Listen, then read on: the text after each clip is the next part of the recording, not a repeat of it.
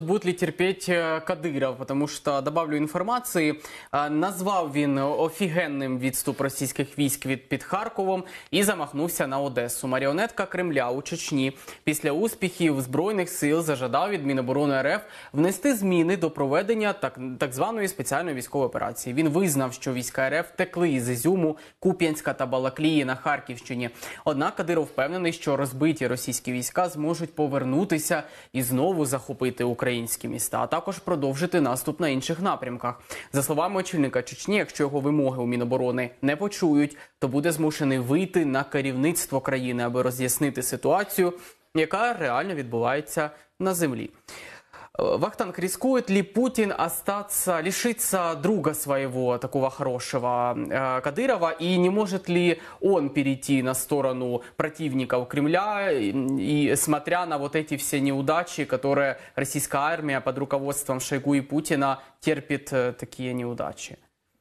Ну, во-первых, Кадыров это классический Хаджи Мурат, это во-первых, по Толстому, это во-первых. Во-вторых, как говорится, Кадыров сейчас как раз является главной креатурой, креатурой, так сказать, как э, Путина. То есть сейчас то, что Путин хочет смести Шойгу и назначить э, своего личного шефа охраны, бывшего шефа охраны, а ныне командующего Национальной гвардии Золотова и э, во, во главе Национальной гвардии поставить Кадырова, это неспроста, потому что у Кадырова очень сложные отношения вот именно вот с этим блоком, с этим кланом силовиков с Патрушем особенно.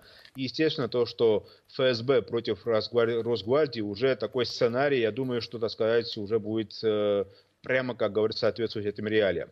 Внутри, так сказать, Министерства обороны сейчас главная фигура является начальник генштаба Герасимов, у которого самые сильные позиции в армии.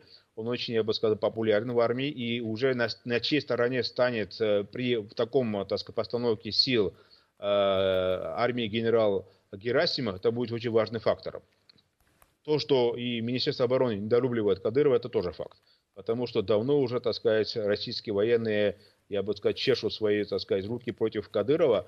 Я думаю, что при таком раскладе сил, э, я думаю, если начнется, так сказать, государственный перевод, военный переворот вот с этой группы, как говорится, силовиков против, так сказать, Кадырова, Путина и э, Золотова, у которых под, под ружье примерно 300-300 тысяч человек, это э, силы Нацгвардии, примерно 30-40 тысяч человек, это уже, так сказать, приватная или э, армия, так сказать, Кадырова, и еще вот те, например, боевики, вот, например, чисто, чисто из ЧВК, которые тоже поддерживают Путина, вот в этом контексте будет интересный расклад. То есть примерно это силы ФСБ, у которых сейчас примерно под ружьем находится примерно там 150 тысяч человек, и плюс еще военные.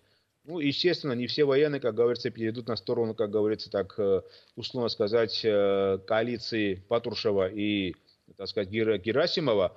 Но я думаю, что раскол внутри, так сказать, э, Кремля и уже всей, по всей стране уже пройдет. Ну, это может даже привести даже к гражданскому противостоянию, такому же, как это э, привело значит, события 3-5 октября 1930, 1993 года. Вот такой расклад сил сейчас как раз латентно уже э, можно прогнозировать внутри Кремля.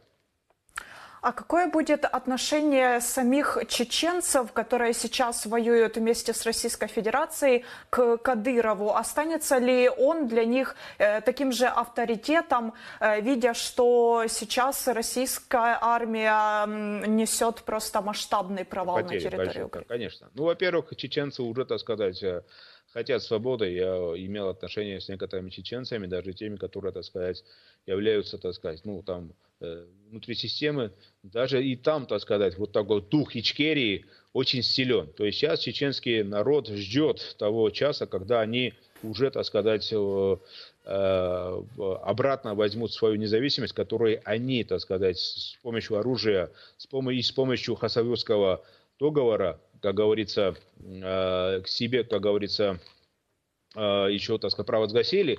Я думаю, что дух вот Ичкерии до сих пор сохранен в Чечне. Я думаю, что не только в Чечне, но и в Дагестане и других, так сказать, национальных, я бы сказал, политических автономиях уже веет дух национального освобождения от российского ига. Так что в этом контексте я думаю, что в основном это все произойдет, может быть, в Чечне. Так, как только, так сказать, Путин уйдет из политической системы, так сказать, России, то, естественно, процесс брожения внутри национальных, так сказать, республиках, не только на Северном Кавказе, но и на других, так сказать, больших национальных, я бы сказал, республиках тоже пройдет очень, я бы, значимо.